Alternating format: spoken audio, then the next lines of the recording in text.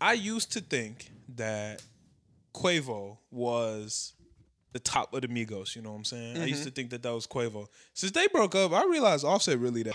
Like Offset is really out here, bro.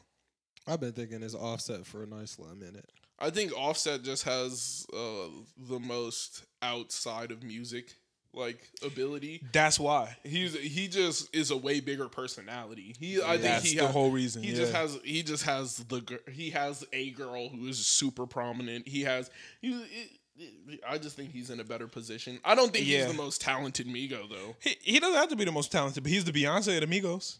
I used to think it was Quavo. It's No, I definitely think Quavo is the Beyonce of the Migos. Nah, Yeah, that's undoubtedly. Offset. That's He's the- Offset. I don't know. Offset's definitely not Beyonce because Beyonce is the one that's going like that, that's the one that goes like That's oh, Offset, no, bro. he's- That's Offset now. Beyonce was not a personality. Beyonce just goes. like that's just how it is. Nah, but she's the star.